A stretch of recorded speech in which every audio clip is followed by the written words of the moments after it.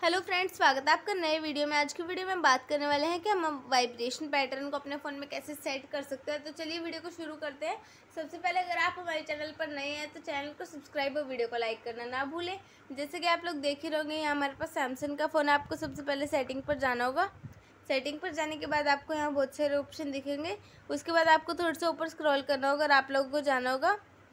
यहाँ पर आपको दिखेगा साउंड और नोटिफिकेशन का ऑप्शन इस पर क्लिक कर देंगे। आप लोगों को यहाँ बहुत सारे ऑप्शन दिखेंगे।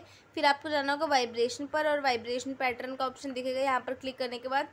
आपको यहाँ पर बहुत सारे वाइब्रेशन पैटर्न दिखेंगे। जो भी आप अपने फ़ोन में लगाना चाहते हैं, आप उस पर क्लिक कर देंगे। तो वाइब्रेशन पैटर्न देखे नहीं जा सकते, सिर्फ़ फील किए जा सकते हैं। तो मैं फील कर रही हूँ तो मैं इस पैटर्न को सेट करना चाहती हूँ तो मैं इस पर क्लिक कर दूँगी। उसके बाद बैक पर क्लिक कर दूँगी। यहाँ आप देख सकते हैं, इस तरीके से हमारे फ़ोन में वाइब्रेशन पैटर्न जो है लग चुका है। तो उम्मीद करते हैं फ्रेंड्स कि आपको वीडियो पसंद आई होगी। वीडियो पसंद आई होगी तो चैनल को सब्सक्राइब और वीडियो को लाइक करना ना भूलें। मिलते हैं नेक्स्ट वीडियो में, तब तक के लिए बाय बाय